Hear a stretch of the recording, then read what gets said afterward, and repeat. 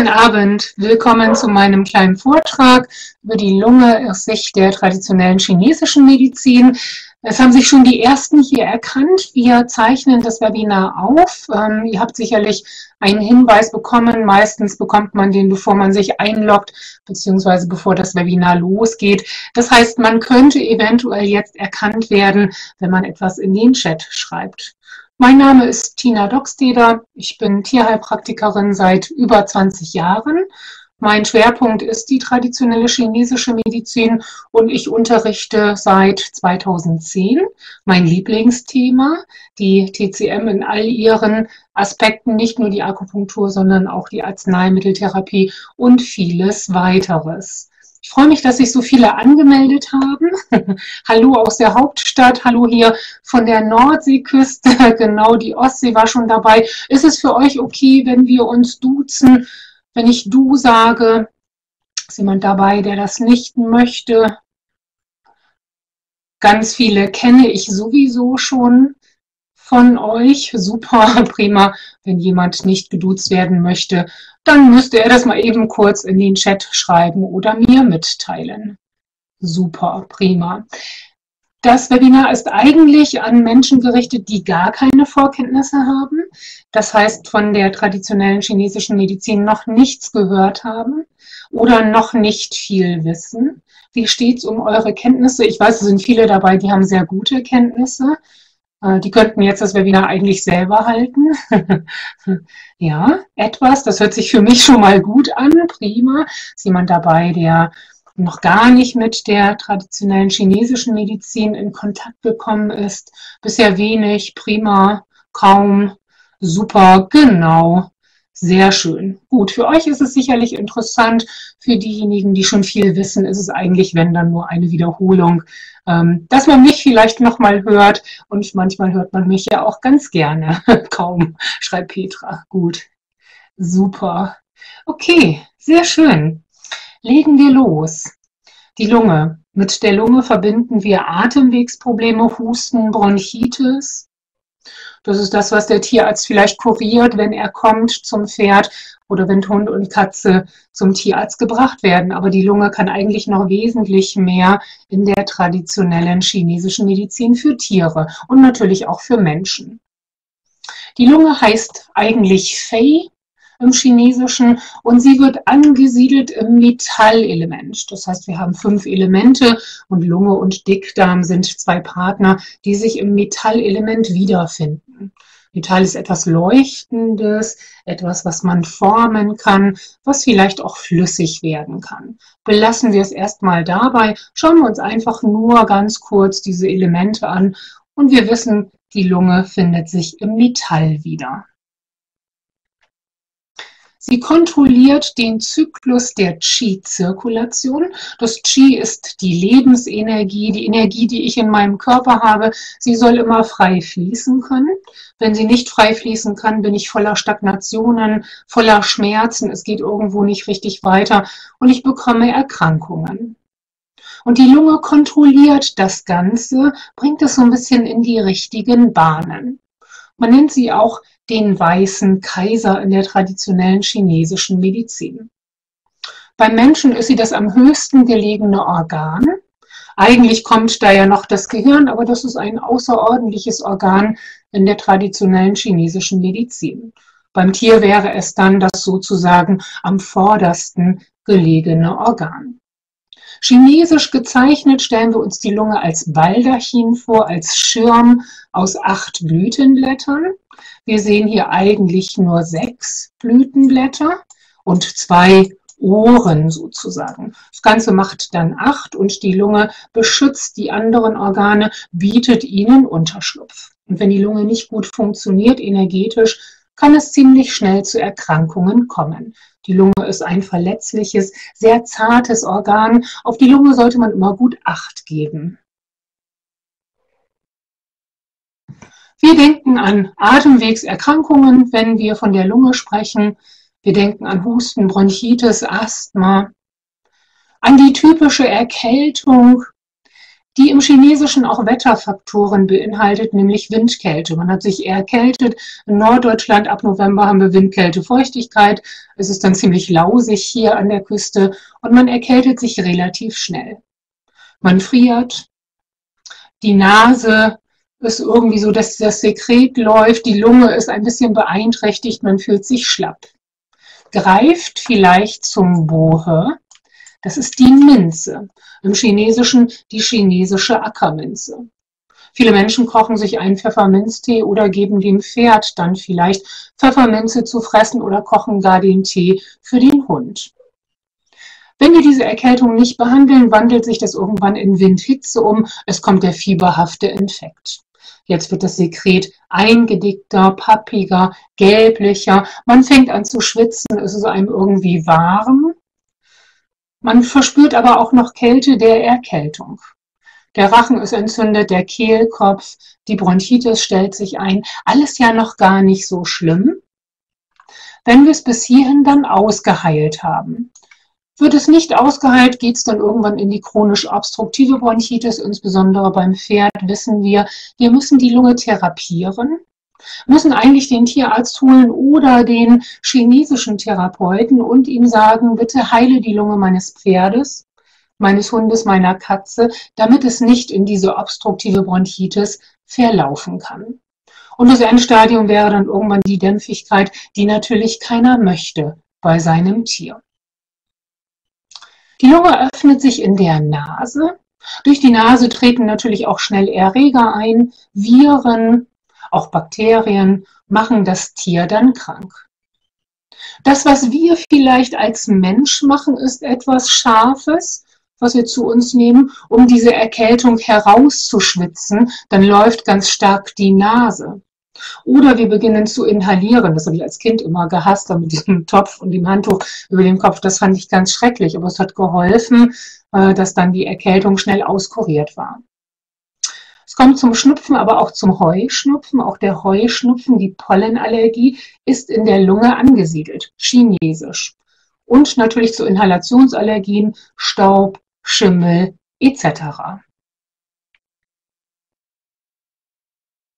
Wenn wir die Lunge betrachten, ganz global, schauen wir uns das Fell des Tieres an. Eine gesunde Lunge zeigt sich in einem schönen, dichten, glänzenden Fell. Wenn das nicht der Fall ist und ich sehe irgendwo Fellstörungen, trockenes Fell, Probleme schon im Fellwechsel beim Pferd, ich sehe vielleicht Ekzeme ganz schlimm. Dieser Hund hier, der ganz stark betroffen ist von einer atopischen, nee, von einer Malassezien-Dermatitis, steht ja auch unten in dem Link zum Bild. Der hat natürlich ziemlich gelitten. Wenn der eine starke Lungenallergie hätte, hätte er das vielleicht gar nicht so schlimm bekommen. Was hier auffällig ist bei diesem Hund, ist eigentlich die Zeichnung des Lungenmeridians, der hier entlang verläuft, dann in die Brust hinein verläuft. Wir gehen nicht mehr über den Hals mit dem Lungenmeridian, haben aber innere Verläufe über den Lungenmeridian, um natürlich Hals und Kehlkopf zu erreichen. Hier ganz, ganz spannend, dass man sogar einen Meridian erkennen kann, der von einer Hauterkrankung betroffen ist. Schlechtes Fellprobleme im Fellwechsel. Hier müssen wir chinesisch extrem an die Lunge denken. Genau, sieht aus wie auf dem Röntgenbild. Hm. Hier müssen wir extrem an die Lunge denken und äh, müssen die Lunge eigentlich abfangen und stärken, damit sich keine weiteren Pathologien einstellen können. Juckreiz, Hauterkrankungen sind Themen der Lunge. Wenn ich das dem westlichen Mediziner erzählen würde, würde der sagen, ja, aber die Haut hat jetzt nichts mit der Lunge zu tun. Das ist ja das Organ, was das Tier in seinem Brustkorb hat. Chinesisch haben wir die Haut, die sich in der Lunge öffnet und haben ganz, ganz viele Hauterkrankungen zu therapieren über die Lunge, über den Lungenmeridian, über Stärkung oder Beruhigung der Lunge als solches.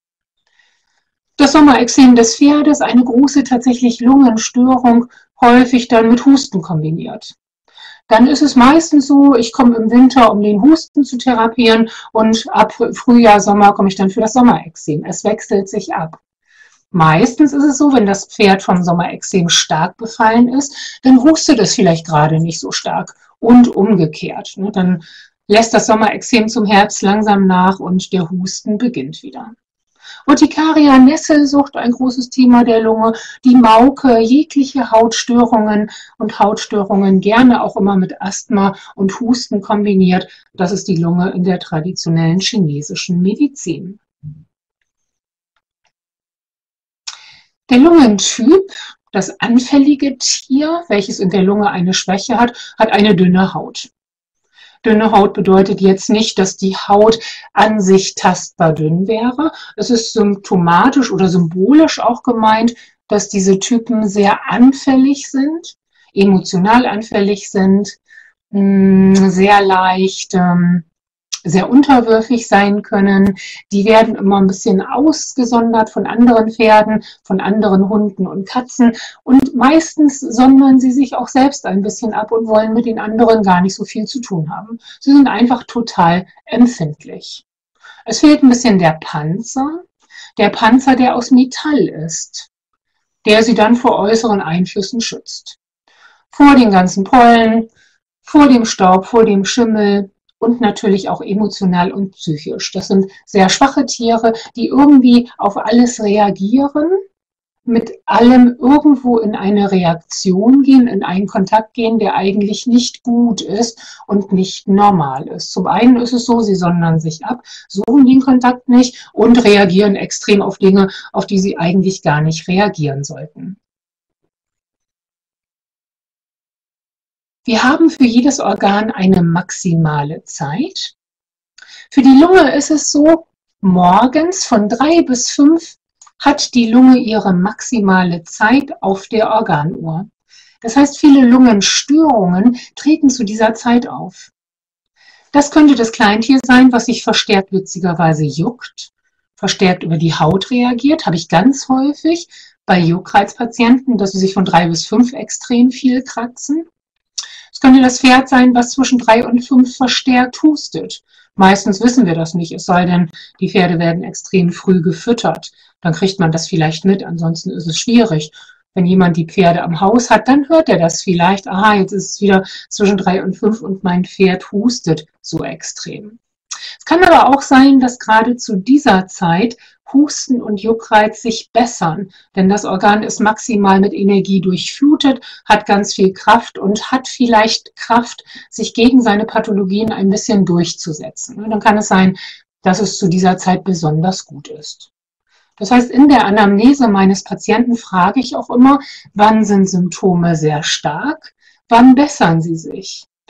Gibt es jahreszeitliche Änderungen? Gibt es zeitliche Änderungen auf der Organuhr? Und häufig ist es so, von drei bis fünf ähm, berichten dann die Tierbesitzer besondere Dinge. Ne? Kratzt sich, hustet oder äh, es bessert sich zu dieser Zeit. Dann habe ich hier einmal den Lungenmeridian ganz schematisch dargestellt mit Punkten. Die Punkte sind jetzt nicht absolut exakt auf den einzelnen Akupunkturpunkten. Es fehlen, glaube ich, auch irgendwie ein paar Punkte. Wir haben elf Punkte im Lungenmeridian und ich habe hier einfach nur mal ein bisschen schematisch den Verlauf dargestellt. Einmal beim Pferd und das gleiche auch beim Hund. Wenn wir uns das anschauen vom Verlauf her, bleiben wir beim Pferd, das ist etwas übersichtlicher, weil die Gefäße hier nicht dargestellt sind. Was für Pathologien könnten wir vielleicht behandeln über den Verlauf des Lungenmeridians? Wir sind schon hier oben an der Lunge, in diesem Bereich hier, im ersten Punkt der Lunge. Das heißt, damit könnten wir die Lunge behandeln. Was könnte man noch strukturtechnisch behandeln? Im Verlauf des Lungenmeridians, vom Bewegungsapparat her zum Beispiel.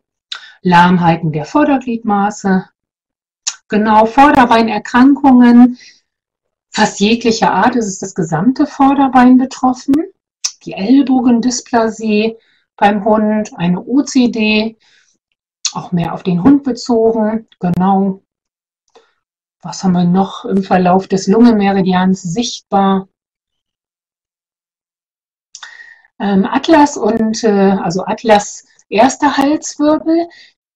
Prinzipiell ist es richtig, aber es ist nicht im Verlauf, denn der erste Halswirbel wäre ja hier. Wir haben da eine Fernwirkung auf den ersten Halswirbel, das ist richtig. Aber so vom Verlauf her kommen wir da theoretisch nicht dran. Ans Herz kommen wir auch tatsächlich nicht mehr so nah ran mit dem Lungenmeridian. Ähm, wir sind zwar am oberen Erwärmer, wo sich Lunge und Herz befinden, aber so von der Lage her ist das schon etwas herzferner. Sehnenschäden, die Beugesehnen, Huferkrankungen, Genau, die Kombi für den Atlas ist gut auf jeden Fall. Genau, wir haben den Huf mit drin, das Kapalgelenk, können wir behandeln. Und wenn wir uns den Hund anschauen, dann wäre es sozusagen die erste Zehe, ähm, sozusagen die, die Daumenkralle, die wir mit behandeln könnten, über den Verlauf des Lungenmeridians. Die Lunge gehört zum Metall, hatten wir vorhin schon gesagt, und ist wie ein Schutzschild, wie ein Panzer beschützt und gibt Kraft.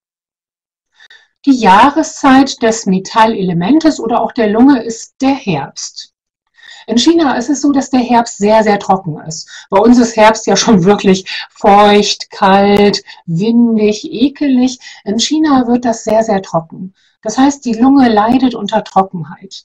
Das können wir vielleicht ein bisschen ummünzen für uns Menschen im Herz. Im Herbst dreht man die Heizung an und die Haut wird dann meistens so trocken. Das heißt, man fängt an, sich zu kratzen, zu jucken, zu cremen, die Schienbeine jucken. Ähm, vielleicht ist auch der Kot irgendwo trocken geworden. Man leidet eventuell unter Verstopfung. Die Nase ist irgendwie ausgetrocknet. Das wäre dann vergleichbar mit dem Herbst über das Metallelement in China, weil es bei uns dann trocken wird, in den Räumen. Im Herbst können also Symptome zunächst auftreten oder auch vermehrt auftreten. Da fängt es auch so langsam an mit den Erkältungen. Da kommt der Fellwechsel dann zum Herbst. Es muss sehr viel Fell produziert werden. Das raubt dann den Pferden viel Energie. Beim Hund ist es ja manchmal so, dass der vielleicht gar nicht so sehr zum Herbst wechselt. Also unsere Hündin, die ist jetzt gerade im Fellwechsel, ähm, erneuert jetzt gerade mal ihr Fell so mitten im Sommer. Die Emotion der Lunge ist die Trauer. Das heißt, sie wird durch Trauer krank. Wir hatten gesagt, die Lunge kann als weißer Kaiser bezeichnet werden und weiß ist eigentlich die Trauerfarbe in China. Die würden dann in weiß gekleidet zu einer Beerdigung gehen. Wenn jetzt ein Tier im Tierheim abgegeben wird, kommt es ja ganz häufig vor, sie sind traurig, sie leiden, entwickeln häufig dann Hautprobleme, Haut- und Fellprobleme. Oder bei den Pferden ist es so, das Pferd wird verkauft, der Freund ist irgendwie nicht mehr da, es muss vielleicht mit einem anderen Pferd zusammenstehen und äh, es entwickelt daraus dann eine Bronchitis, die chronisch ist und irgendwie nicht zu therapieren ist. Die Lunge sorgt dafür, dass der Organismus die reine Lebensenergie, das Qi aus der Luft einatmen kann, das unreine Qi dann abatmen kann. Wir haben also einen Austausch einen Sauerstoffaustausch, Sauerstoff rein, CO2, Kohlendioxid raus. Haben ein Organ des Aufnehmens und Abgebens, ein sehr rhythmisches Organ. Und die Lunge leidet extrem unter Rhythmusveränderungen. Wenn ich also den Rhythmus meines Tieres verändere und sage, Frühstück gibt es jetzt nicht mehr, wir fangen erst um zwölf mit der ersten Mahlzeit an, dann könnte das Tier dadurch schon ziemlich durcheinander sein, wenn es in der Lunge nicht ganz so gut mit Energie bestückt ist und kann das vielleicht gar nicht vertragen. Oder ich stelle irgendwo das Katzenklo an eine andere Stelle und die Katze kommt darauf überhaupt nicht klar. Die Lunge ist für harmonisches Kommunizieren verantwortlich, für Geben und Nehmen. Dass ich etwas geben kann, dafür aber auch etwas nehmen kann. Viele Menschen geben sehr viel, tun sich mit dem Nehmen aber schwer. Meistens sind es Therapeuten, die sagen, oh, lass mal dein Geldbeutel stecken, ähm, das haben wir jetzt so gemacht, ähm, dass man Schwierigkeiten hat, dann dafür vielleicht auch den Ausgleich zu nehmen. Wenn die Lunge krank ist, kommt es meistens allgemein zum Qi-Mangel.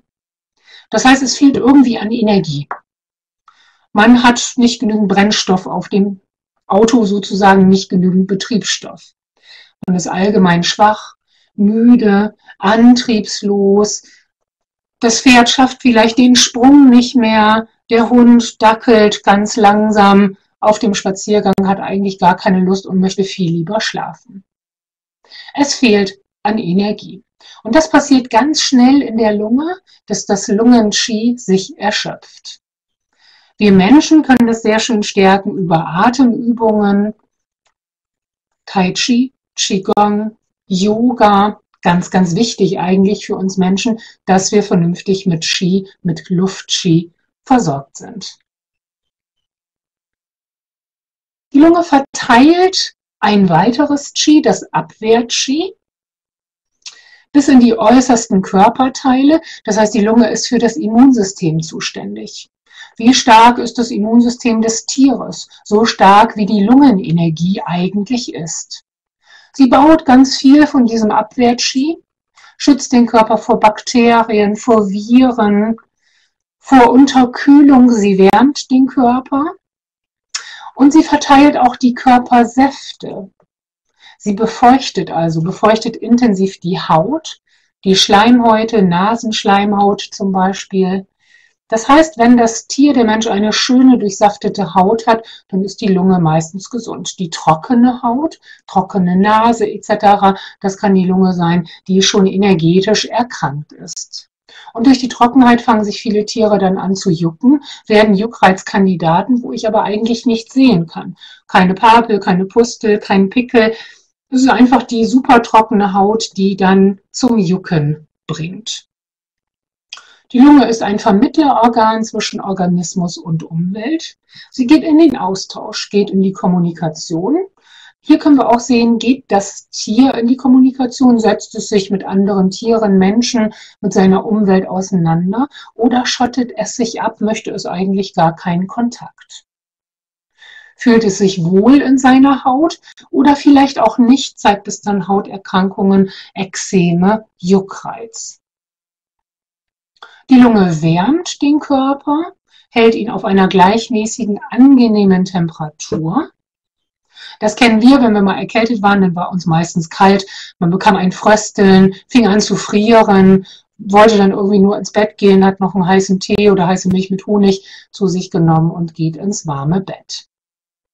Sie schützt den Körper vor dem Eindringen von äußeren pathogenen Faktoren. Die Chinesen haben das Wetter beobachtet, die Natur beobachtet und die haben gesagt, Windkälte, Feuchtigkeit, das macht den Organismus auf jeden Fall krank. Deswegen haben wir es hier an der Nordsee manchmal etwas schwerer mit unserer Gesundheit und möchten dann spätestens so, ja, wenn Weihnachten vorbei ist, eigentlich nach Italien, Teneriffa auswandern, weil man einfach keine Lust mehr hat auf dieses ekelige Wetter. Das zehrt ganz schön an einem und da braucht man eine starke Lunge, um das alles abwehren zu können. Ist das Lungenski schwach, dann ist der Körper leicht anfällig für Erkrankungen. Und dann hat er immer zu kämpfen. Ich kenne viele Tiere und auch Menschen, die irgendwie ja, ab November krank werden und das, das zieht sich irgendwie bis März, April. Das ist natürlich nicht gut. Wenn ich einmal einen Infekt habe, dann möchte ich den abwehren aus dem Körper ausleiten, möchte dann auch wieder gesund sein. Und die Berliner möchten auch weg dann, genau. Ja, ist ja auch auf jeden Fall immer noch Norddeutschland. Aber im Süden sieht es wahrscheinlich dann auch nicht viel besser aus. Die Lunge kontrolliert die gesunde Funktion der Schweißdrüsen. Ist die Lunge energetisch chinesisch erkrankt, schwitzt das Tier häufig stark. Das betrifft auch Menschen. Ich hatte mal einen Teppichverleger im Haus, der sich gleich entschuldigte und sagte, es tut mir leid, ich bin schwer lungenkrank und ich schwitze sehr stark. Der hat sehr stark geschwitzt und das tropfte alles. Und der tat mir total leid, dieser arme Mensch. Und da habe ich noch so chinesisch gedacht, mh, die Lunge kontrolliert die Schweißdrüsen. Wir können über die Akupunktur, auch über chinesische Arzneien versuchen, die Schweißdrüsen etwas besser zu kontrollieren, dass wir ein übermäßiges Schwitzen eindämmen können, beziehungsweise das Gegenteil erreichen, das Tier auch mal ordentlich zum Schwitzen bringen zu können. Wie wir Menschen, wenn Oma sagte, das musst du ausschwitzen, deine Erkältung. Sie sorgt für einen gesunden Flüssigkeitshaushalt. Das Metalltier, das Lungentier hat eigentlich schön geformte Strukturen, alles schön klar abgegrenzt. Wenn es krank wird, kommt es meistens zu Schwellungen, Ödemen. Eher so im vorderen Körperbereich, im Kopfbereich. Wenn es der hintere Körperbereich ist, die Hinterhand, dann ist es meistens die Niere oder die Milz, die schwach ist und für Ödeme dann im hinteren Bereich sorgt. Hier ist es mehr der vordere Bereich für die Lunge, dass man irgendwelche Wasseransammlungen oder Reaktionen im vorderen Teil bekommt. Und Franziska fragt oder sagt, ich schwitze nachts immer zwischen 2 und 4 Uhr und dann bin ich klitschnass. Mhm. Können wir einmal ganz kurz auf die Organuhr gucken? Behalten wir diese Folie im Kopf. Ihr könnt euch hier auch äh, das Skript runterladen. Ich zeige euch das gleich nochmal eben. Zwischen 2 und 4 Uhr. Genau, das ist so ein, so ein Zwischending eigentlich ne, zwischen Leber und Lunge der Übergang aus der Leberenergie in die Lunge, in den Durchfluss. Und wir müssen ein bisschen schauen, sagt Sabine schon, Sommerzeit. Ne? Ähm, es könnte vielleicht etwas mehr die Leber oder etwas mehr die Lunge sein. Das heißt, hier müsste man etwas abgrenzen, hat man sehr viel zu entgiften, sehr viel loszuwerden, ist man eher stagniert, manchmal auch mal wütend, dass man explodieren könnte. Äh, oder ist es so, dass man vielleicht eher äh, mit den Atemwegen Probleme hat, mit der Haut Probleme hat, geht es also mehr äh, in die Leber beziehungsweise in die Lunge. Ne? Und ähm, kann beides sein, ne? klitschnass können die Poren äh, der Lunge sein. Es könnte aber auch ein Yin-Mangel der Leber sein. Da müsste man so ein bisschen schauen, in welche Richtung äh, jetzt dieser Patient geht, wenn es ein tierischer Patient wäre, denn wir dürfen ja keine Menschen behandeln. Außer natürlich uns selber oder wenn man mal etwas für die Familie tut und da kein Geld für nimmt, dann ne, ist das auch irgendwo legitim. Diese Folien könnt ihr euch runterladen. Habt ihr das äh, gesehen im Ordner Dokumente bei euch in eurem Bereich? Oder weiß jemand nicht, wie das funktioniert? Dann zeige ich das nochmal eben. Jemand dabei, der sagt, öh, wo, wo ist das? Finde ich nicht. Habt ihr das alle gefunden? Mhm. Mhm. Ja. Dann ähm, schmeiße ich hier mal eben das Screen Sharing an.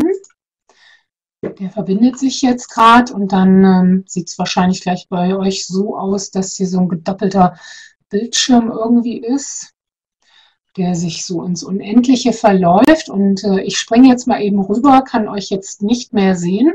So sieht mein Bereich aus. Das sieht bei euch sicherlich irgendwo ähnlich aus, außer vielleicht der Reiter Teilnehmer, der dann äh, wahrscheinlich fehlt. Und hier im Reiter Dokumente ist das Skript hinterlegt und das kann man dann mit dem Button Download oder dem Wort Download sich herunterladen, abspeichern. Das ist eine PDF-Datei. Das heißt, ihr müsst euch, wahrscheinlich habt ihr auf den Link geklickt, diesen Einladungslink oder Erinnerungslink und ihr müsst euch sonst einmal bei EduDip einloggen mit eurer E-Mail-Adresse und Passwort und dann seht ihr das hier zu dem Webinar. Wie gesagt, es wird aufgezeichnet und irgendwann steht hier wahrscheinlich Video ansehen äh, da erscheint dann der Button, wenn ich das freigeschaltet habe. Ich komme mal eben zurückgesprungen und äh, beende das hier mal eben. Okay, gut. Und jetzt müsstet ihr gleich wieder die Präsentation hier sehen können. Mhm. Okay. Gut, das war das Schwitzen, ne, wo eben halt ähm, Franziska eben sagte, Mensch, da bin ich immer schweißüberströmt zu der Zeit. Könnte super zur Lunge passen.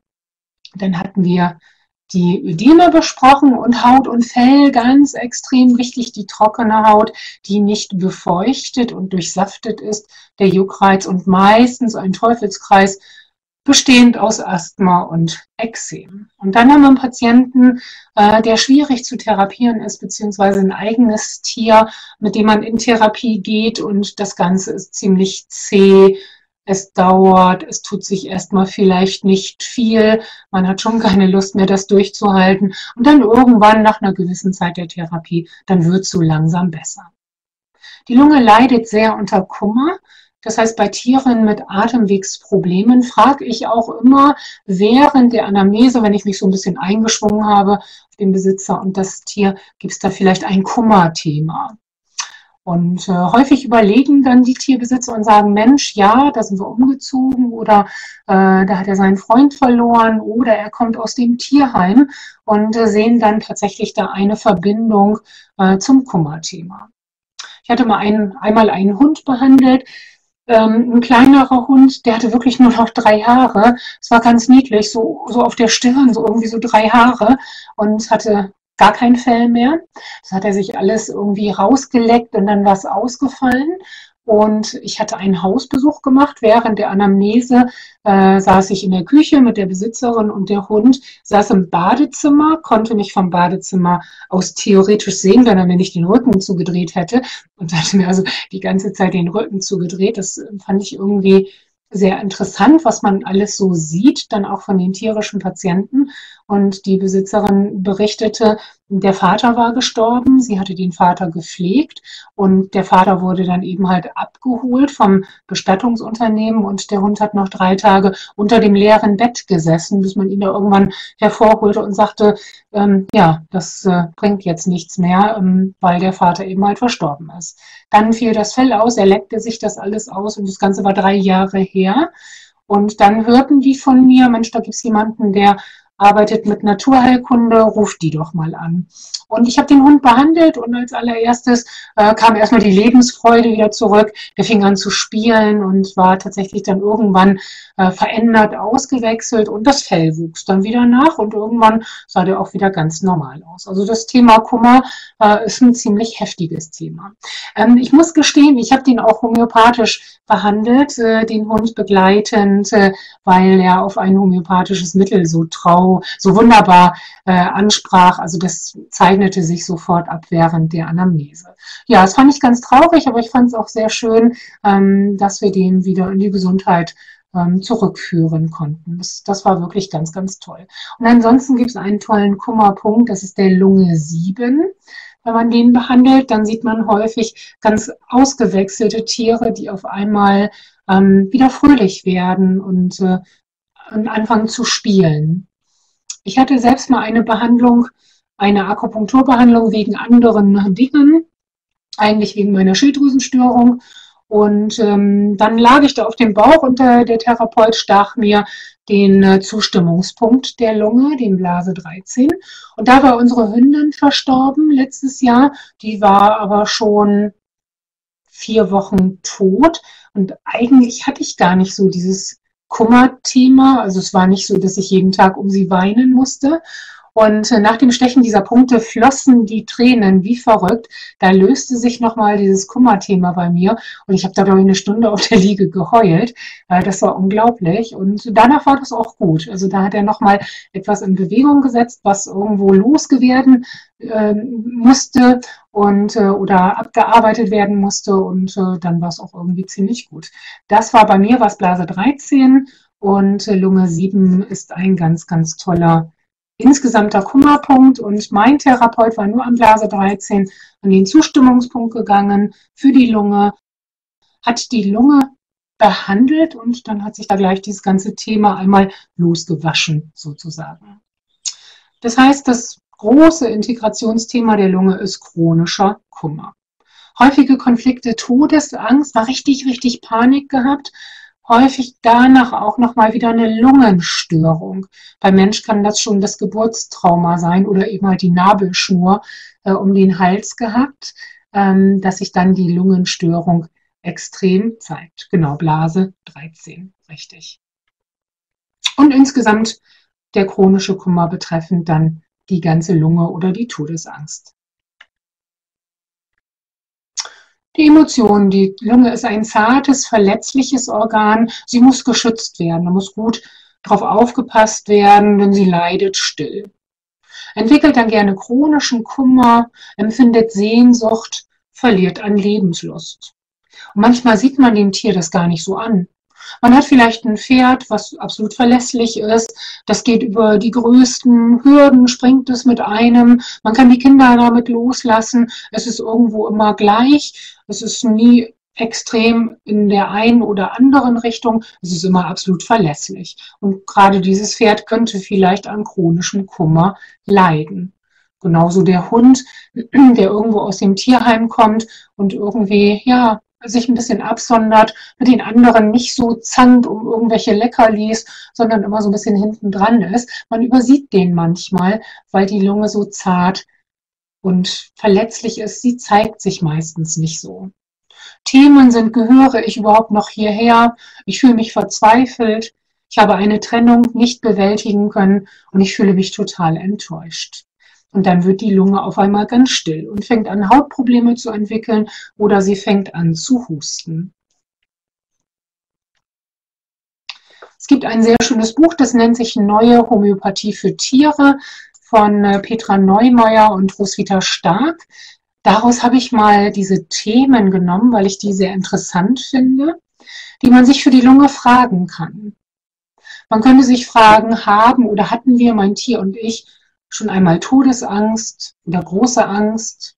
Halten wir an einer nicht bewältigten Trennung fest? Sind wir voller Trauer?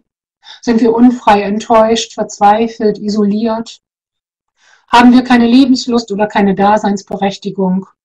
Bleibt uns vor Schreck die Luft weg. Ziemlich harte Themen für die Lunge, da muss man erstmal seufzen, um seinen Ski wieder zu bewegen, um aus dieser Trauer, aus dieser Isolation wieder rauszukommen. Und Tatjana fragt Haarausfall beim Menschen. Könnte das auch Lunge bzw. Kummer sein? Das ist gut möglich. Mhm. Es kann auch ein Essenzmangel sein, dass es so an die ganze Konstitution geht, äh, dass einem da Energien geraubt sind, dass man vielleicht schon etwas älter geworden ist, beziehungsweise das hormonelle Geschehen sich verändert hat. Aber ich würde da vielleicht mal vorsichtig äh, beim Haarausfall an ein Kummer- bzw. Lungenthema denken.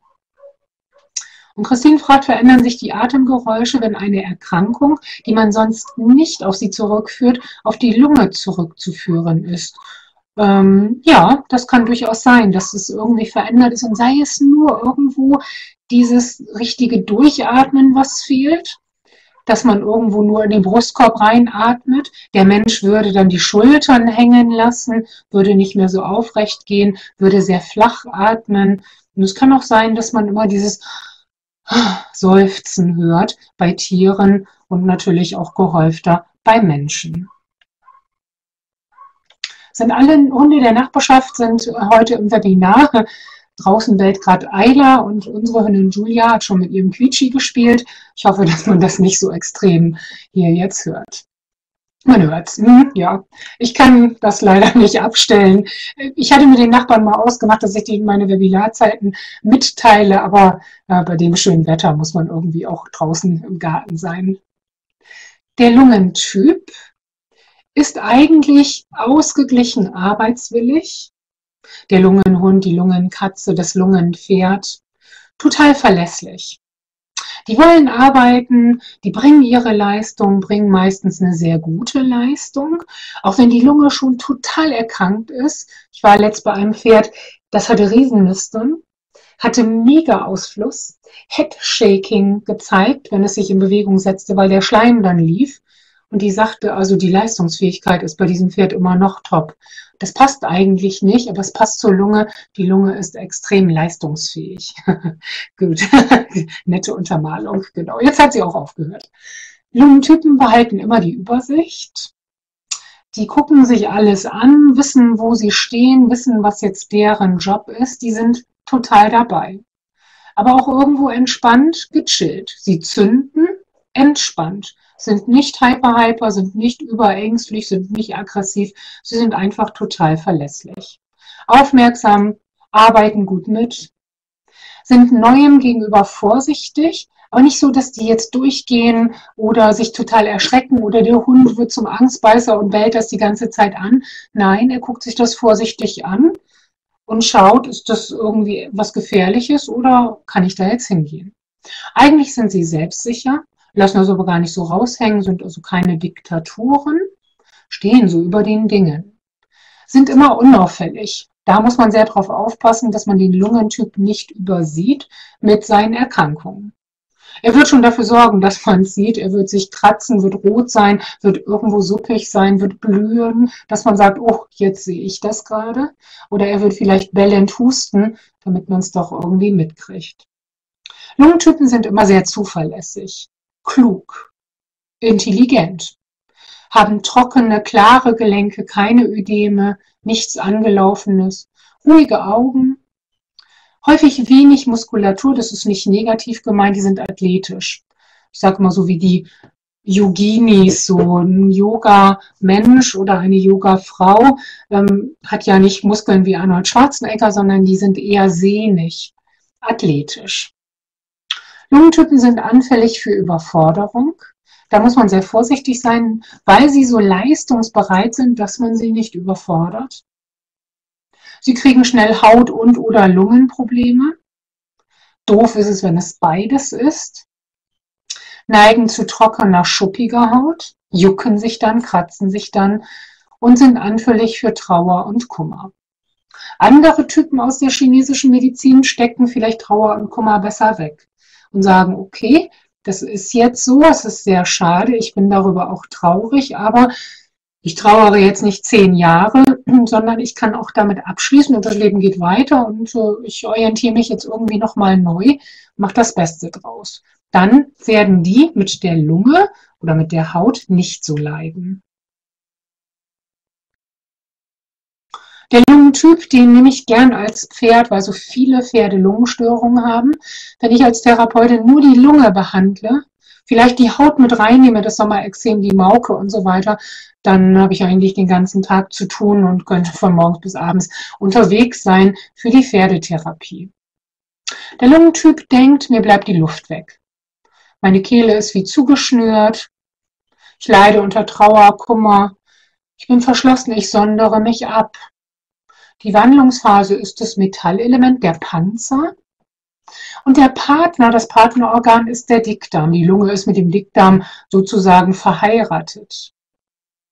Das heißt, hier sehen wir ganz wichtige Dinge, die Darmflora, die Funktion des Dickdarms, dass alles gut läuft, gut besiedelt ist.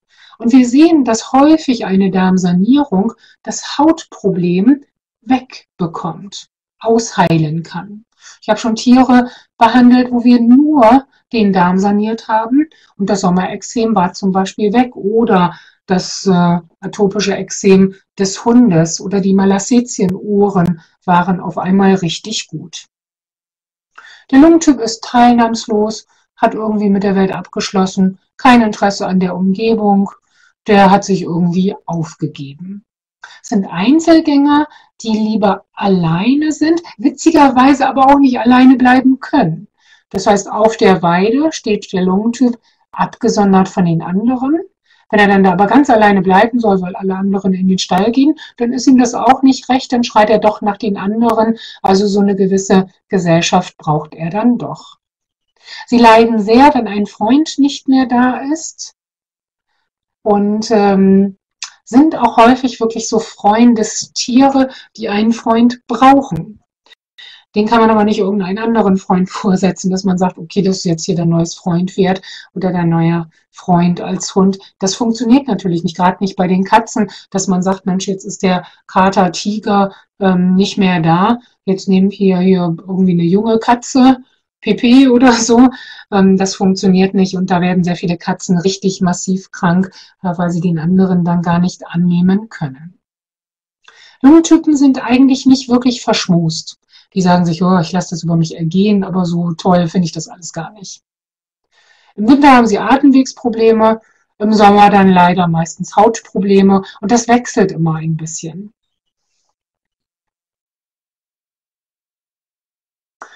Sie können Probleme mit Leitbahnen und Gefäßen haben. Die Lunge kontrolliert die Leitbahnen, die Meridiane, auf denen sich die Akupunkturpunkte befinden und auch die Blutgefäße. Sie hilft dem Herz bei der Blutzirkulation. Und wenn die Lunge stark ist, dann funktioniert der Qi-Kreislauf und der Blutkreislauf optimal. Das Tier ist gut durchwärmt, alles ist gut durchblutet. Der Mensch bekommt meistens kalte Hände bei Störungen der Lunge. Die Hände sind schlecht durchblutet. Der Hund kalte Pfoten, kalte Vorderpfoten, das Pferd kalte Hufe.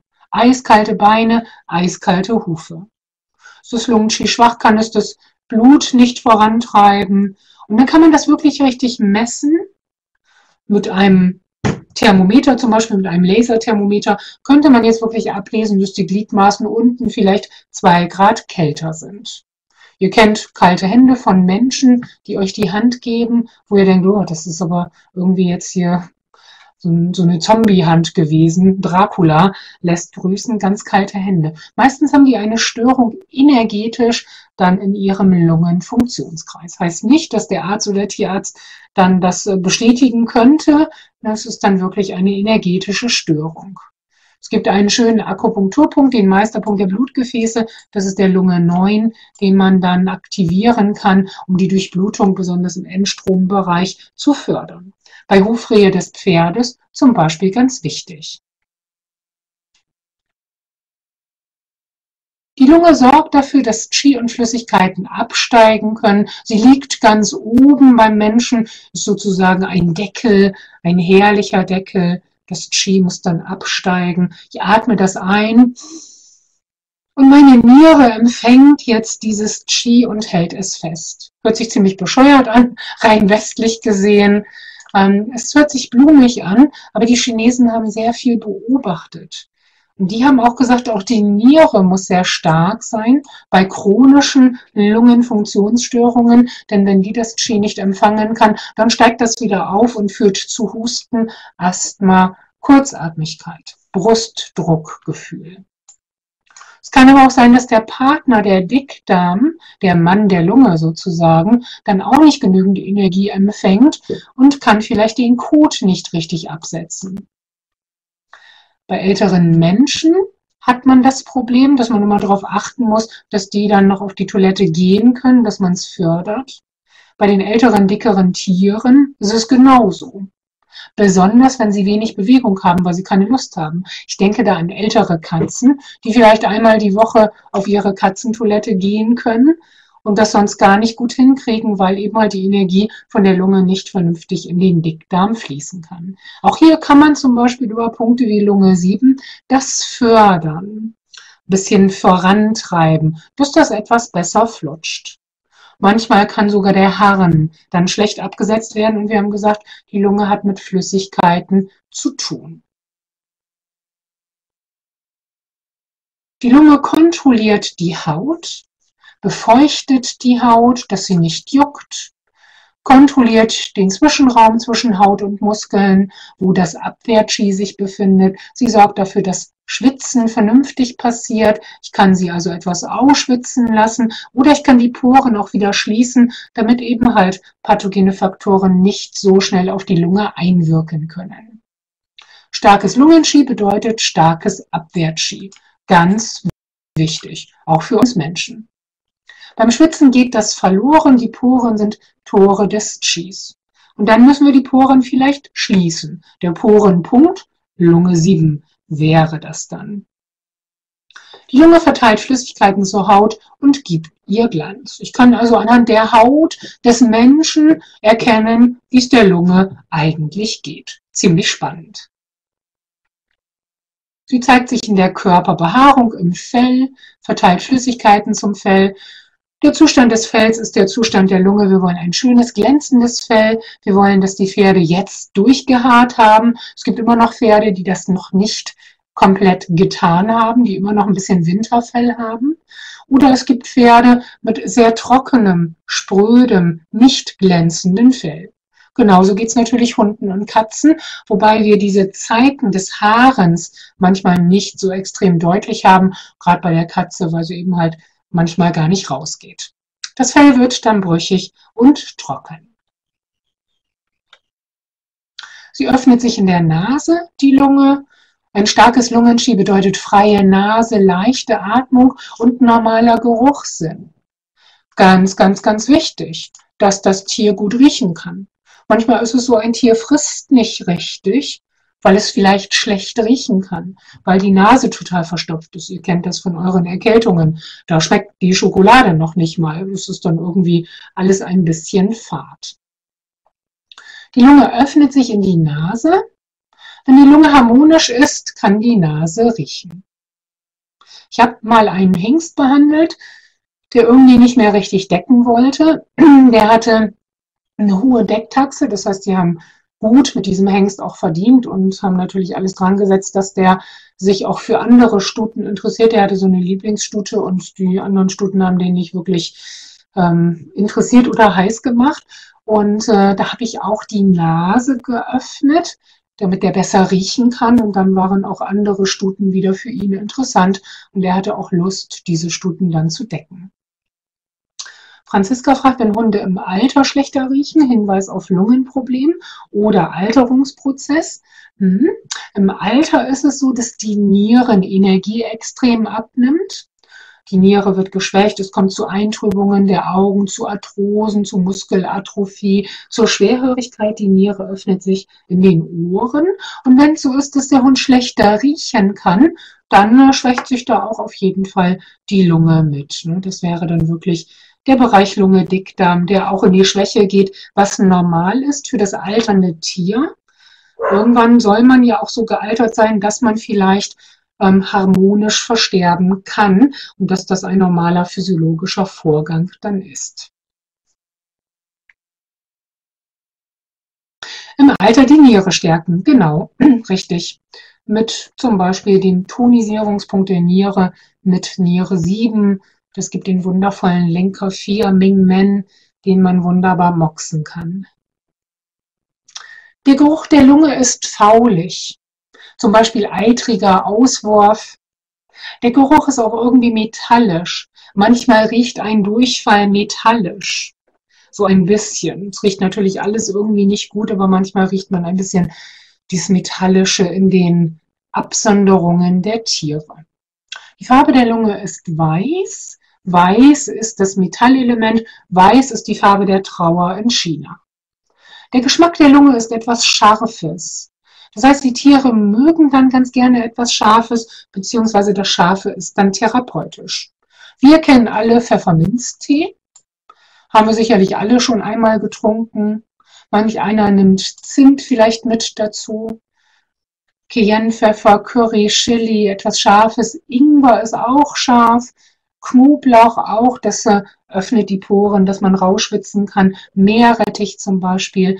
Und ähm, ich habe schon manch eine Erkältung beim Thailänder gelassen, indem ich da etwas sehr Scharfes gegessen habe. Und habe es dann rausgeschwitzt, die Nase lief wie bescheuert. Und dann war auch die Erkältung gleich wieder verflogen. Und Ela fragt, wenn etwas scharf riecht, wäre das auch das Metallelement? Ja, mh, weil wir riechen diese Schärfe dann zum Beispiel in dem, was wir zu uns nehmen.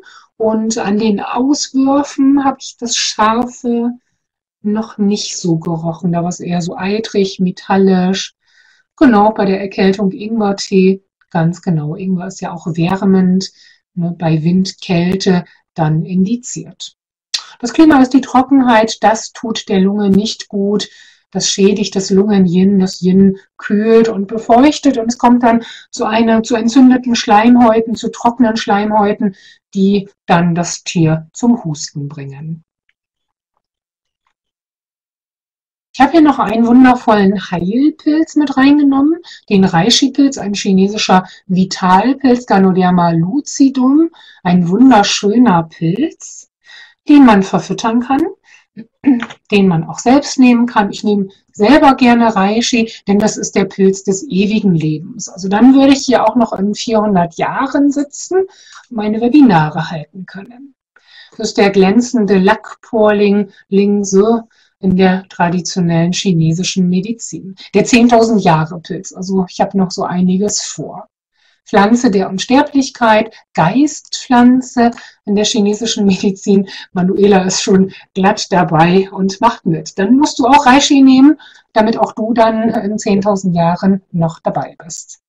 Wir haben eine sehr alte Medizin. Die traditionelle chinesische Medizin ist auf dem Schamanismus begründet worden. Da hat man sehr viel mit Geistern und Dämonen gearbeitet. Und die traditionelle chinesische Medizin ist mindestens 4000 Jahre alt und der Schamanismus 50.000 Jahre. Das heißt, die Chinesen haben schon so unglaublich viel gewusst und haben schon Zusammenhänge erkennen können, wo ich sage, das ist schon unglaublich, dass man all das über den Körper wusste. Mhm, genau, super, sehr schön. Ginseng ist ein starkes Tonikum, Reishi ist wesentlich stärker. Reishi hat auch schon Hildegard von Bingen gekannt. Und Hildegard von Bingen ist für mich ein ganz, ganz großes Phänomen, was diese Frau wusste. Das ist irgendwie auch nicht so von dieser Welt. Und Hildegard von Bingen ist für mich die größte deutsche Schamanin, die es jemals gegeben hat. Und äh, die hat einfach gesagt, das habe ich, hat Gott mir eingeflüstert und so hat sie sich eigentlich vor dem Scheiterhaufen bewahrt und ähm, konnte also sehr alt werden und äh, den Menschen unglaublich viel dalassen äh, in wirklich einer sehr, sehr alten Zeit. Und wo kann man den Reishi kaufen? Das muss äh, eine gute Qualität sein. Genau, es gibt auf jeden Fall Biopilze. Äh, das ist die Firma Wohlrab, die man nehmen kann.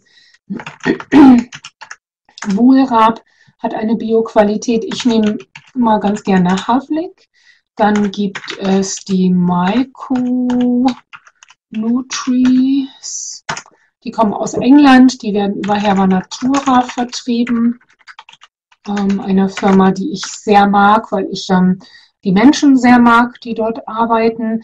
Ähm, dann gibt es die Firma Wettterm mit sehr guter Qualität. Was gibt es noch? Ähm, Petra Scharrel hat eine Firma gegründet, die nennt sich Mykoplan.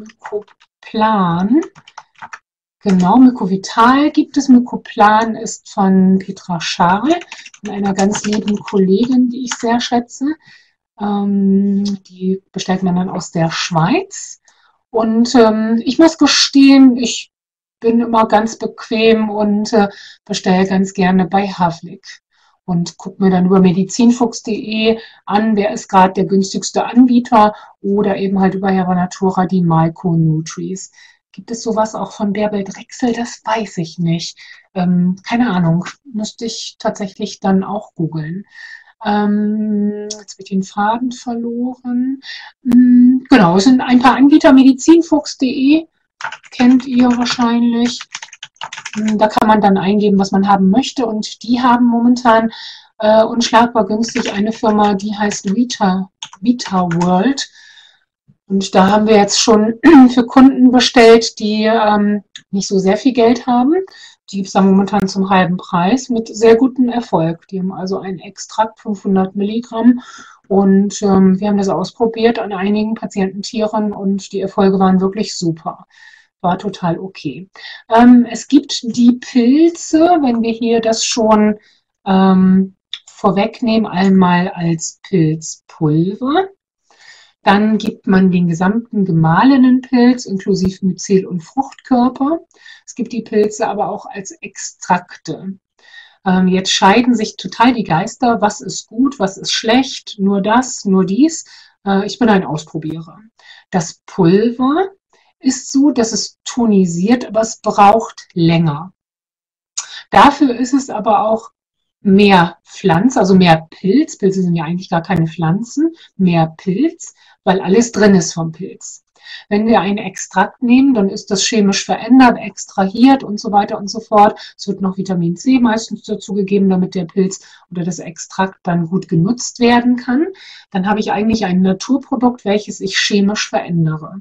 Die Extrakte aber wiederum sind wirksamer, schneller wirksam. Das heißt, ich gucke mir immer an, was möchte ich behandeln. Muss ich relativ schnell Erfolge haben, dann gebe ich das Extrakt, weil es ganz schlimm ist.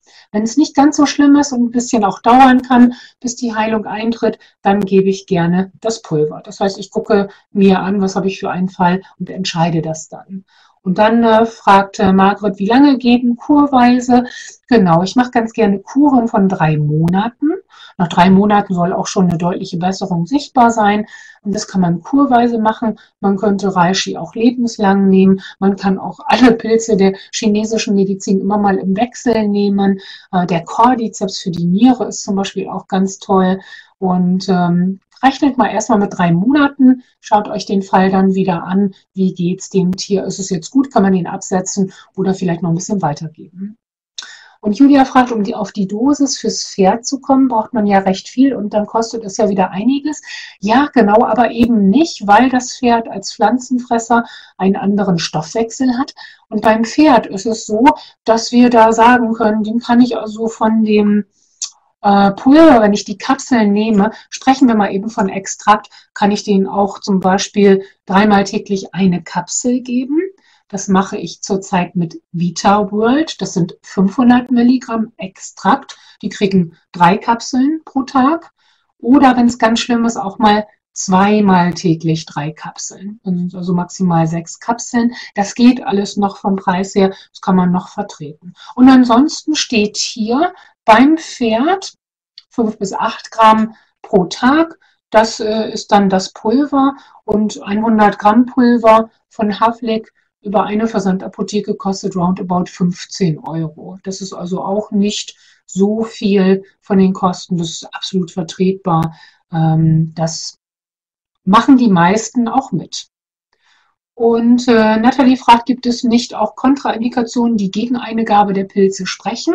Genau, auf jeden Fall. Das heißt, hier gucke ich natürlich, wenn ich zum Beispiel ein Tier habe mit schweren Herzrhythmusstörungen, ähm, mit Krebs im Endstadium, ich möchte dem irgendwie ABM geben, das äh, versuche ich natürlich dann mir genau anzugucken und da wege ich ab, gebe ich da jetzt noch den Pilz rein oder nicht. Ne? Beim Reishi, wenn wir den nutzen für den hustenden Patienten, der jetzt nicht extrem Herz-Kreislauf geschädigt ist, oder für den Juckreizpatienten, dann können wir den auf jeden Fall geben. Äh, es spricht nichts dagegen. Auch für Kaninchen auf jeden Fall geeignet. Ja, dann ist die Dosis natürlich gering, nur dass wir Hunde unter 10 Kilo nehmen, Katzen, das vom Gewicht dann tatsächlich umrechnen. Reishi ist eigentlich ein Speisepilz, äh, den man essen könnte, ähm, der aber nicht besonders gut schmeckt. Und viele nehmen den auch als Pulver, mischen sich das dann als Mensch ins Wasser, trinken den. Hm, es ist einfacher, den in Kapselform zu schlucken. Genau. Kaliumanreicherung bei Nierenschaden, Übelkeit, ja. Mhm. Genau, wenn wir so schwere Pathologien haben, wir sprechen ja jetzt erstmal über Haut und Lunge, gehen davon aus, dass unser Patient aber nicht schwerst geschädigt ist. Dafür können wir den Reishi auf jeden Fall geben. Und man kann ihn auch äh, Schafen oder Ziegen dann geben. Wenn wir bei Schlachttieren müssen wir natürlich schauen, ähm, wie sieht es damit aus mit dem Umwidmen und so weiter. Ähm, bei mir ist es immer so, dass ich eigentlich keine Schlachtpferde in der Behandlung habe. Und bei Hund und Katze ist es ja auch so, dass das dann eben halt keine Rolle spielt. Reishi, ein adaptogener Pilz bei Stress, reduziert die Stresstoleranz oder die Stressintoleranz, sorgt dafür, dass das Tier nicht so stark auf Stress reagiert. Er ist antidiabetisch. Hier haben wir natürlich dann Dinge, die wir beachten müssen beim Diabetiker. Ne? Wie sieht es da aus? Wie viel Insulin bekommt er? Wie oft wird gemessen? Und äh, hier muss ich dann natürlich eigentlich so ziemlich täglich nachmessen. Wie steht es hier um den Blutzuckergehalt? Ähm, spielen jetzt diese beiden Medikamente gegeneinander, potenzieren sie sich, dann muss ich das eine da irgendwie reduzieren und da würde ich dann erstmal sagen, okay, äh, entweder machen wir das eine oder das andere, wenn der schon auf Insulin ist, würde ich den da sicherlich erstmal lassen und mich ganz vorsichtig rantasten. Genau. Ja, wenn der Reishi dann hier auf der Wiese wächst. Reishi ist antikanzerogen, also gegen Krebs, Tumor, Metastase hemmend. Sehr spannend, das können eigentlich alle Vitalpilze äh, auf ein Krebs- und Tumorgeschehen Metastasen einwirken. Meistens kriegen wir es nur nicht rechtzeitig mit. Meistens sehen wir das im Endstadium als Therapeut, ähm, wenn es dem Tier schon extrem schlecht geht. Er ist antibakteriell, Staphylokokken, Streptokokken, MRSA, ganz, ganz spannend. Antiviral, Herpes, Hepatitis HIV, sagen die Humanstudien. Antipilz, antimykotisch gegen verschiedene Pilze, auch gegen den Hautpilz zum Beispiel. Da kann man ihn auch topisch auftragen, indem man ihn mit etwas Wasser anrührt und dann auf die Haut aufträgt. Entzündungshemmend, schmerzlindernd sorgt dafür, dass nicht so viel Histamin bei Allergien ausgeschüttet wird und er ist immunmodulierend, das heißt, er beruhigt das Immunsystem, dass es nicht mehr so überschwänglich bei Allergien re ähm, reagieren kann. Das erschöpfungshemmend, leistungssteigernd ist also ein sehr tonisierender Pilz, der Kraft gibt. Eigentlich natürlich dann ein Dopingpilz, das heißt vor dem Turnier sollte ich den eine Woche lang vorher absetzen. Genau, es muss eine, ein gewisser Abstand ähm, zwischen letzter Gabe und Schlachtung dann sein. Ich würde den eine Woche vorher dann absetzen. Mhm. Hm, tschüss. Hm. Wir sind auch gleich fertig. Ich hoffe, es geht noch von der Aufzeichnung. Irgendwann macht EduDip dann dicht, aber nicht vier Minuten nach, sondern ich glaube um Viertel nach, dann geht das hier automatisch irgendwie aus. Ähm, Reishi ist ein Pilz, der die Leber regeneriert. Sehr spannend, also nicht nur auf die Lunge wirkt, sondern zusätzlich die Leber saniert und das sehr, sehr angenehm. Er schützt Nieren und Herz, entgiftet, hemmt Entzündungen, egal wo die sind. Die können im Bewegungsapparat sein, aber auch im Magen-Darm-Bereich, ne, im Partner-Dickdarm. Äh, es könnte eine rheumatische Erkrankung dahinter stecken. Und er sorgt dafür, dass das Blut Sauerstoff besser aufnehmen kann, besser mit Sauerstoff gesättigt ist. Man kann ihn bei Herzrhythmusstörungen einsetzen, kann das Herz damit tonisieren, er schützt das Herz. Wir nutzen ihn bei Asthma, chronischer Bronchitis, Husten und Atemnot. Und gerade bei chronischer Bronchitis, chronisch obstruktiver Bronchitis wirkt der sehr, sehr, sehr gut. Manchmal dauert das ein bisschen oder sagt der Kunde vielleicht, es tut sich überhaupt nichts und vielleicht nach vier oder sechs Wochen wird es dann so langsam besser. Laura fragt, kann man den Pilz auch nutzen, wenn ein Pferd ständig aufgebläht ist? Ja, das kann man tun, indem man hiermit den Darm saniert und äh, es wäre dann Heritium, auch noch ein weiterer Pilz, der sehr schön auf den Darm wirkt. Heritium wäre das, den man vielleicht dazugeben könnte, eins zu eins oder vielleicht nur Heritium geben.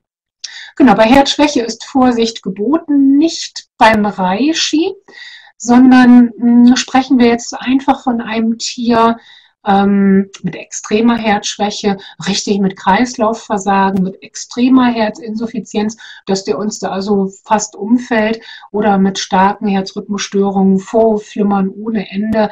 Und es geht dem Tier gerade extrem schlecht, dann ist natürlich mit jeglicher Therapie Vorsicht geboten, egal was wir machen, ob wir Nadeln setzen mit der Akupunktur, homöopathisch arbeiten und so weiter. Das heißt, das Tier sollte natürlich dementsprechend überwacht werden und der Therapeut muss für sich auch abschätzen können, kann ich das jetzt noch dem Tier geben oder ist das vielleicht alles zu viel.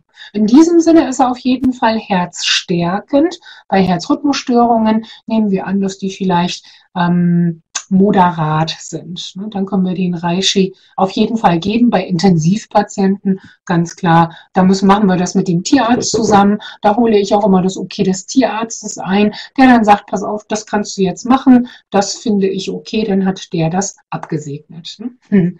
Okay, ich wünsche einen schönen Abend für die, die schon langsam gehen. Genau, wir haben etwas überzogen. Ähm, Tatjana fragt, dürfte der Pilz in Verbindung mit Blutverdünnern gegeben werden? Prinzipiell nein. Sprechen wir auch vielleicht vom Menschen. Ähm, sollte man nicht machen. Ich kenne aber Menschen, die das getan haben. Entschuldigung, ich muss mal eben husten. so. Äh, die das getan haben und ähm, da ist dann nichts passiert. Aber da war es auch ein Therapeut, der das für sich dann äh, so abgeschätzt hat. Ansonsten, ne, wenn das ein Mensch ist mit Blutverdünnern, müssen wir sowieso generell vorsichtig sein mit allem, was wir geben. Und natürlich äh, ist es so, dass naturheilkundliche Medikamente mit westlichen Medikamenten da konkurrieren und manchmal irgendwelche Verbindungen eingehen, die wir gar nicht haben wollen. Und häufig ist es auch so, wir geben irgendetwas Naturheilkundliches äh, dem Tier, welches da voll eingestellt ist auf westliche Medikamente und dann stört das Naturheilkundliche die Aufnahme der westlichen Medikamente und es geht vielleicht dem Tier in dem Moment wesentlich schlechter und wir können uns das eigentlich gar nicht erklären. Das heißt, wir gucken immer als Therapeut, was bekommt das Tier und ähm, verträgt sich das Ganze oder soll ich da jetzt lieber Abstand von nehmen? Franziska fragt nochmal, dann wäre die Dosierung zu viel. Ähm, glaube ich, insgesamt für bei der Herzschwäche dann. Ne? Ähm, genau. Man kann dann, wenn es moderat ist, erstmal ganz leicht anfangen, kann sich erstmal einschleichen mit geringen Gaben.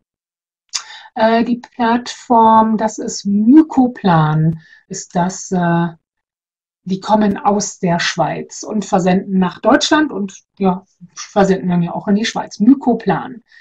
Mhm, genau. Und bei Asthma chronischer Bronchitis gut mit Cordyceps, schreibt Heike. Ganz genau richtig. Das mache ich auch immer, dass ich den mit dem Cordyceps dann kombiniere. Mhm. Vielen, vielen Dank für die, die jetzt schon gehen müssen. Genau. Ja. Okay, gut. Machen wir nochmal eben die letzten Folien schnell fertig für die, die noch da sind. Ähm, Reishi, innere Unruhe, Schlafstörungen. So, wenn das jetzt ein Mensch ist mit Schlafstörungen, wenn ihr schlecht schlaft, nehmt den Reishi, danach kann man wunderbar schlafen. Das geht sehr gut. Dann Hauterkrankungen, Neurodermitis, Allergien, okay, ja. Sagen wir mal, das Tier hat nichts anderes, in Anführungsstrichen, dann können wir den Reishi auf jeden Fall geben. Ne? Verhindert die Histaminfreisetzung. 80 Prozent aller an Neurodermitis erkrankten Kinder reagieren positiv auf Reishi. Sehr, sehr spannend. Es gibt eine Mutter, die das ausprobiert hat, die hatte ein Kind mit Neurodermitis, war völlig am Ende, nichts hat geholfen. Dann hat sie den Reishi ausprobiert, hat ihrem Kind also dem Reishi dann äh, gegeben und die Neurodermitis war weg. Er wirkt wirklich ganz, ganz toll auf die Haut. Ähm, ich war mal Schuppenflechtenpatient und habe auch super auf den Reishi reagiert. Äh, da wollte auch irgendwie nichts helfen so richtig und ähm, ich habe dann Reishi genommen und das war weg. Es kam auch nie wieder und das sah schon ganz deutlich aus, was ich da hatte äh, an den Händen und jeder guckte mir so auf die Finger. Ähm, das war schon ziemlich hässlich, hat gejuckt wie Sau und ähm, Reishi hat es dann wirklich ausgeheilt. Er moduliert das Immunsystem.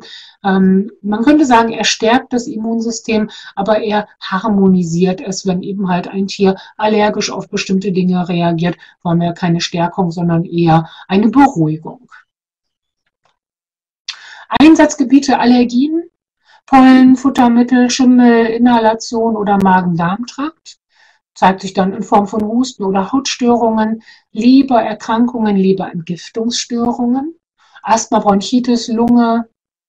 Er peppt auf, Erschöpfung, Müdigkeit, Altersbeschwerden. Na, wir werden 10.000 Jahre alt, wenn wir ihn nehmen. Anti-Aging vom Feinsten tonisiert das Immunsystem. Bei Infektionen zum Beispiel ist er gut. Herzrhythmusstörungen, ja, nur dann in Abklärung mit dem Tierarzt. Arthrose, Arthritis, dafür können wir ihn nehmen, weil er gut durchblutet. Chronische Darmentzündungen, Kotwasser würde auch dazu gehören. Einen schönen Abend, tschüss. Diabetes, Krebs hatten wir drüber gesprochen. Und wenn man ein bisschen Vitamin C hinzufügt, wird seine Wirkung noch erhöht. Und das machen die Hersteller eigentlich. Dann ähm, geben sie sowieso schon ein bisschen Vitamin C in Form von Acerola, Kirsche zum Beispiel dazu. Auch bei ED, hm, wenn die ED schmerzhaft ist, dann ist es ja meistens auch schon die Arthrose, die sich auch bei der HD dann äh, zeigt. Und da wäre er auch ein schöner Pilz, definitiv.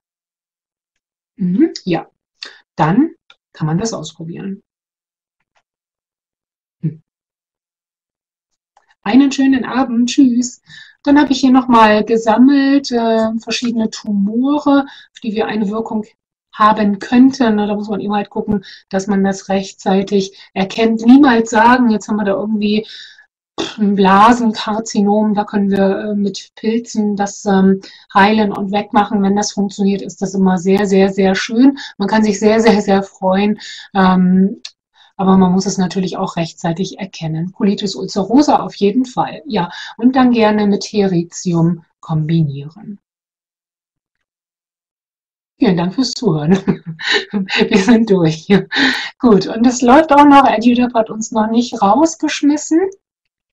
Ich hoffe, dass es für euch etwas interessant war, dass ihr vielleicht für eure Tiere etwas mitnehmen konntet und ein bisschen Verständnis bekommen konntet für die traditionelle chinesische Medizin.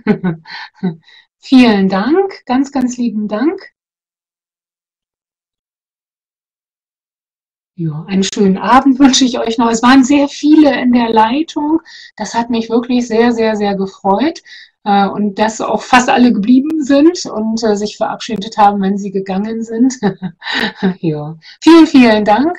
Ja, wenn ihr Lust habt, ähm, lasst euch ausbilden von mir oder auch von anderen äh, Dozenten der traditionellen chinesischen Medizin. Es läuft gerade eine Gruppe, die angefangen hat, die hat zwei Abende gehabt, da kann man noch einsteigen, als kleine Schleichwerbung hier zum Ende. Ja, sehr, sehr gerne, gerne mehr.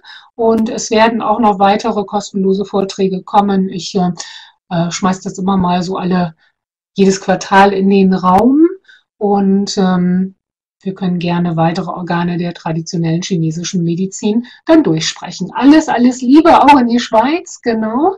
Ähm, Franziska fragt nochmal, ob ich so auch die TCM-Ausbildung mache. Ja, genau, würde ich mal sagen. Ja, so in dem Stil ähm, läuft die Jahresausbildung ab. Genau, Teil 3, ja. Und Angela auch, äh, genau, Sabine auch. Ich weiß, ich arbeite an allen Bereichen. Konstitutionstypen, Schändstörungen, ja genau, ist alles noch gespeichert. Wir arbeiten an meinem Klon. Klon Nummer 53 wird dann die Schändstörungen übernehmen können. ja, gerne. Okay, gut. Ich wünsche euch noch einen schönen Abend. Macht es gut. Genießt das Wetter. Und äh, genau, ich werde euch äh, informieren, äh, wenn es wieder ein neues Thema gibt. Und Sabine, wir können gerne telefonieren. Bis dann, macht es gut. Tschüss. Tschüss.